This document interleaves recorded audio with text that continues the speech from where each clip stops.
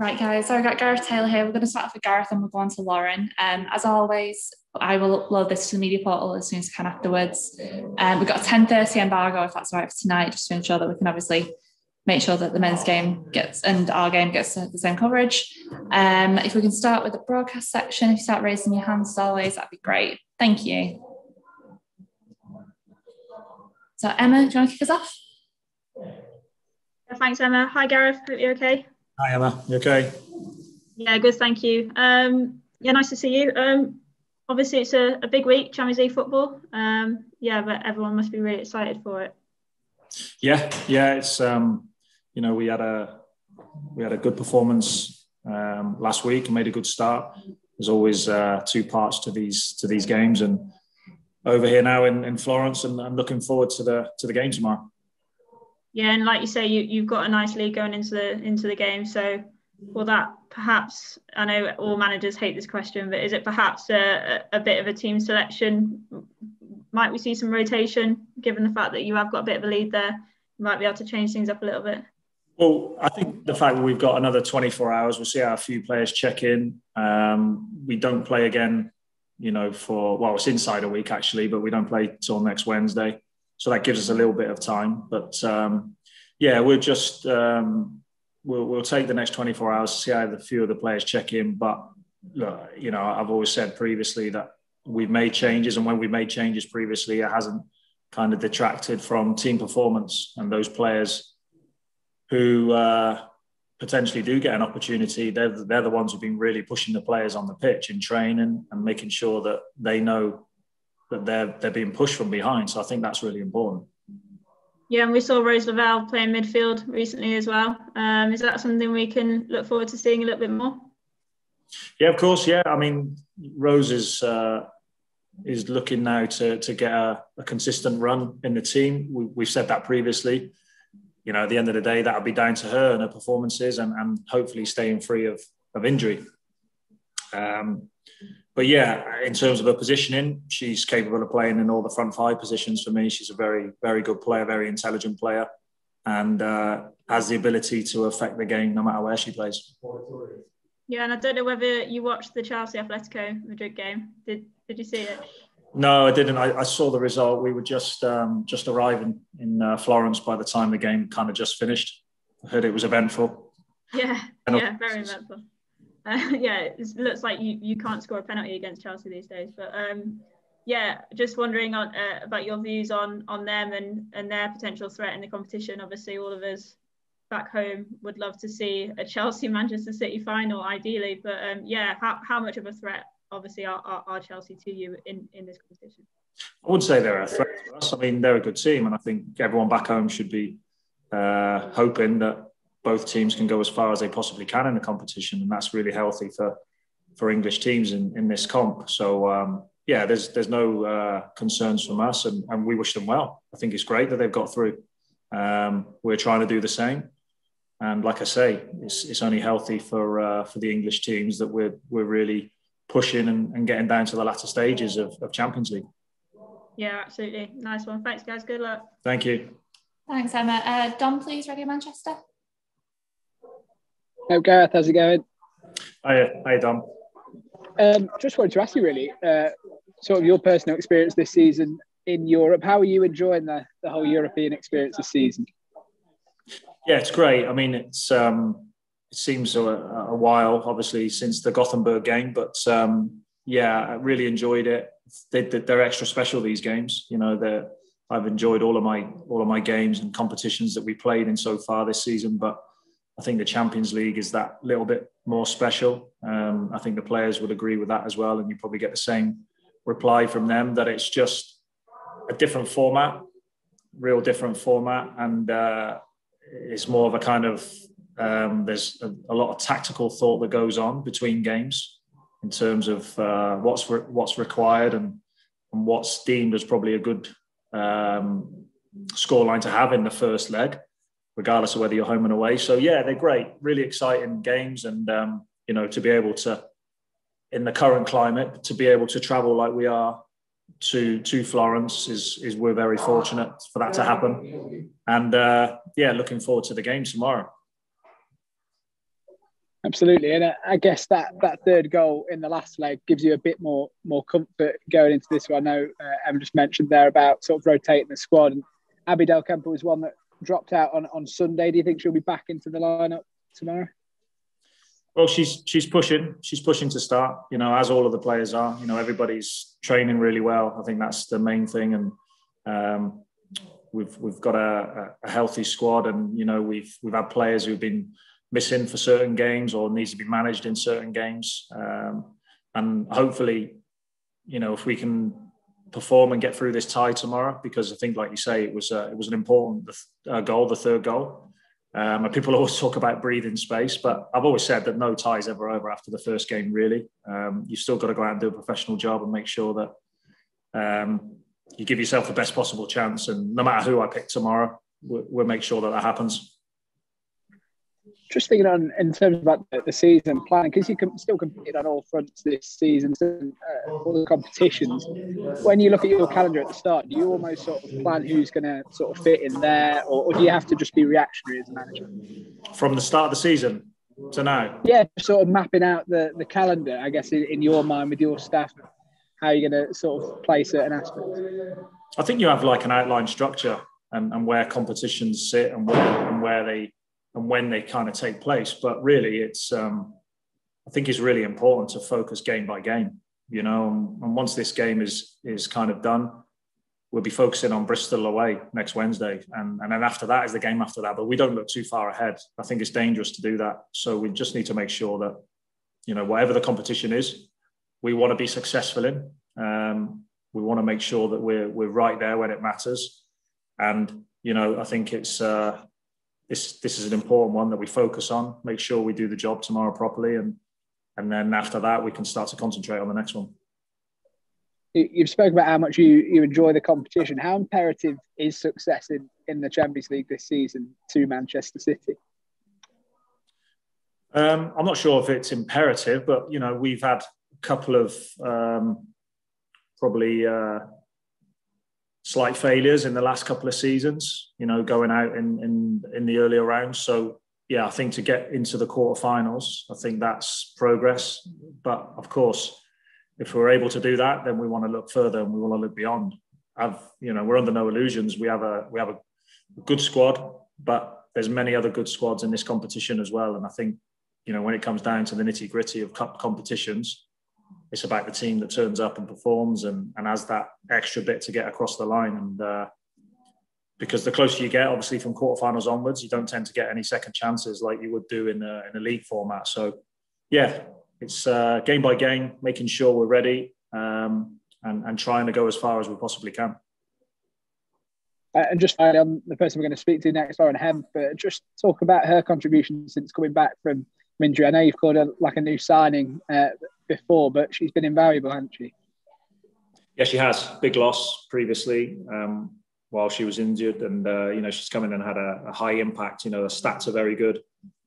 We've spoken, and I still think there's a lot of growth to come from from Lauren. I think there's lots of areas of the game that she can really develop, and we'll help her with that. Um, and also, she's a young player as well, so we need to allow her to grow, uh, allow her to to develop. But because uh, she's a talented player, there's no doubt, and we've been really pleased with her contribution so far. Cheers, Gareth. Appreciate the time. Thank you. Well, thanks, Dom. Right, we're moving on to the written section now, guys. We're going to start raising your hands and we'll, we'll thrash through a few of those while Lauren comes. Um, Dan, do you want to start with you, please? Hey, Gareth. Hope you're well. Hi, Dan.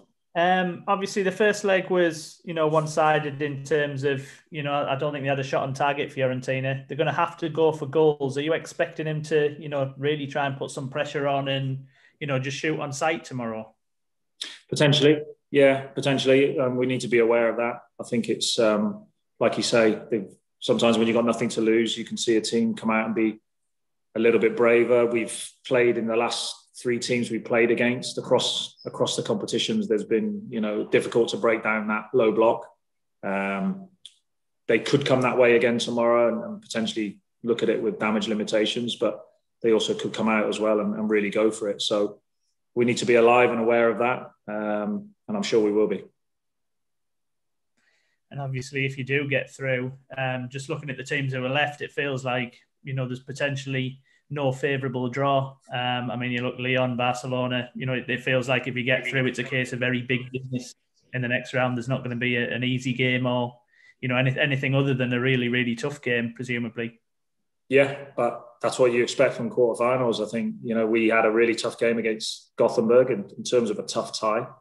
I think a lot of people would have looked at that as being one of the toughest kind of teams you could get at that stage. Um, but yeah, of course, when you know if we if we're fortunate enough tomorrow to be in the hat and be in the quarterfinals, we're expecting a, a really a really tough team because all of the teams would have done tremendously well to get to this point.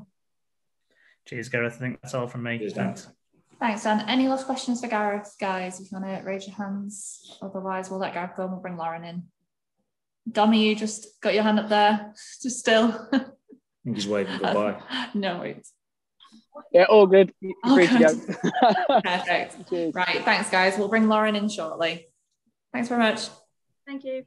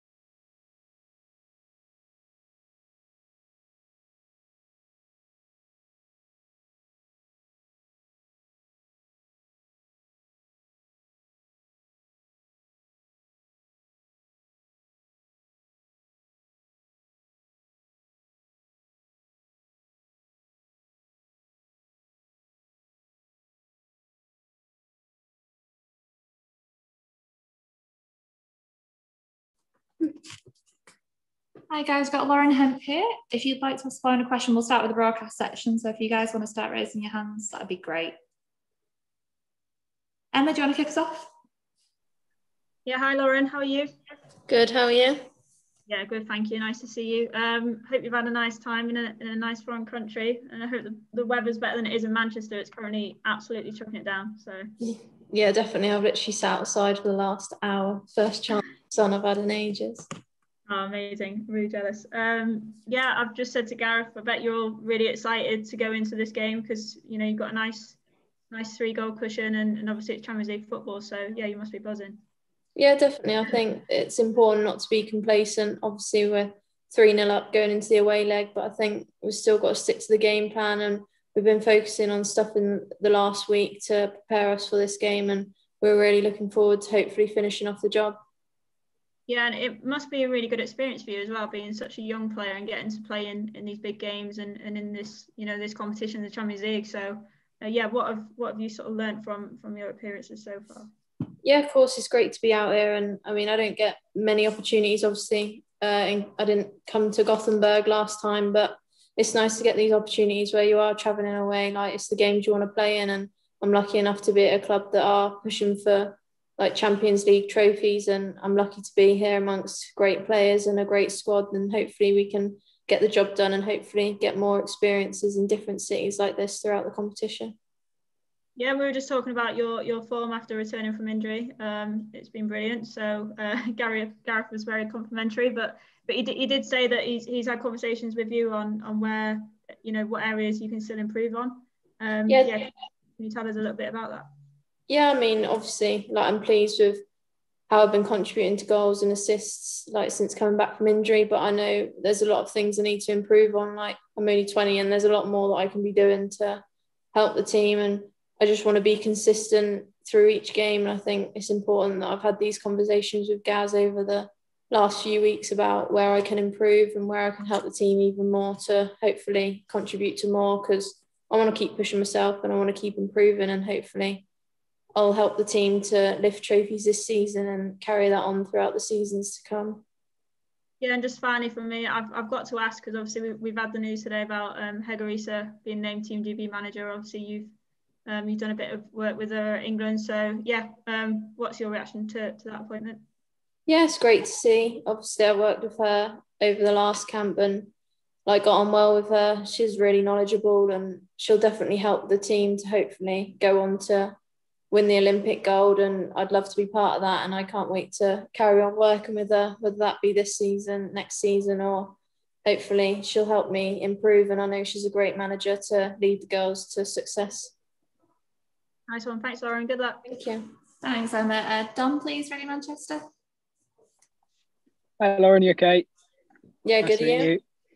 I'm good, thank you. Um, just wanted to to sort of reflect a little bit because you spoke about the form you've been in since you you return from injury. But I just wanted to ask you how sort of going through that injury process was for you. And we, we hear it all the time with footballers and how challenging that can be. And I imagine in the midst of everything else going on in the world, it, it wasn't the easiest time for you. Uh, how was it during that that period? Yeah, obviously it was quite difficult. I mean, it was just after pre-season that obviously tore my hamstring and it's something I've done before, so it wasn't the first time and I knew that it'd be a long journey ahead, but I think with the support I had around me from the staff and the players, I think it's the best place to be when you've got such an injury like that. And I think the support I had from them defo helped me to sort of push on in the gym, keep working hard to make sure I came back fitter, stronger. And obviously, I'm lucky enough to now be in the starting 11 um, and had opportunities. So I'm just looking forward to hopefully pushing that on and make sure I continue to be part of the squad and um, part of the success of this club was there an element of maybe because it was a new manager in Gareth Taylor and, it, and you did get the injury during that preseason period of maybe when you came back having to do that bit extra and, and try and impress a, a, new manager or or was it fairly comfortable? I mean, I had lots of conversation with Gaz throughout my injury and before, and I worked hard with him in preseason. And obviously, all the girls, it's a tough competition. And I mean, there's fantastic players here, and I'm lucky enough to be surrounded by them every day and continuing to push on and this what's made me a better player being around people like that. And i think me and gaz have got a good relationship as i have with many of the other staff. And i think being at this club has sort of helped my growth and improvement as a player. So i wouldn't necessarily say that i was worried coming back. Like i knew i was in the best place possible to help me improve and get better. And since then you've been flying as well. Ellen white said after the first leg in the champions league last week that that playing in a front three with, with you and Chloe Kelly is a dream. And for someone like Ellen White to say that for a young player must be a great feeling. Yeah, definitely. She's someone that I've looked up to ever since I was younger when I was watching the World Cups back at home. And to be able to play on the same pitch as her and on the same pitch as many of the other girls here is just an honour, really. And we've been working closely together in training as well after training and trying to get the partnership right as we have done with Chloe and all the other wingers and forwards that are here. So it's a nice partnership to have and it's nice to know that whoever comes into that slot, because we've got such a versatile team that they can do the job and, and we can get the results. And in terms of the Champions League for you, how much of a priority is that on, on your your list? I imagine as a player, that's what the aspiration is to, to win in Europe. Yeah, of course. I mean, like, who doesn't? Like, I'd love to win the Champions League, and it's something that I'd definitely love to tick off my list. And hopefully, we can do it this year, and then um, see how many seasons I can do it for. I mean, obviously, we're looking towards the league, and but right now we're focusing on the Champions League and the game coming up tomorrow. So I'm really looking forward to it, and hopefully, we can get the result we want. And just finally, uh, for me, I mean, you mentioned there wanting the Champions League success. You you are also going for nearly every other competition as well. It must be a bit. It must be quite fun. Yeah, of course it is. I mean, like traveling different places, seeing different cities, like it's amazing, and getting the results obviously is such a bonus. And we're looking to push on, and we want to do better than we did last year. And it starts from tomorrow, and then focus then turns to Bristol. I think we're taking each game as it comes, and we're just looking forward to like I said, picking up the results and continuing to get as far in each competition as we can go because we know there's no limits. We just got we've got the team that can do it, and we're just looking forward to going to show people what we can do. Thank you very much for your time, and uh, good luck tomorrow. Cheers. Thank you. Well, thanks, Dom. Uh, we'll move on to the written section, guys. You want to raise your hands if you've got a question for Lauren?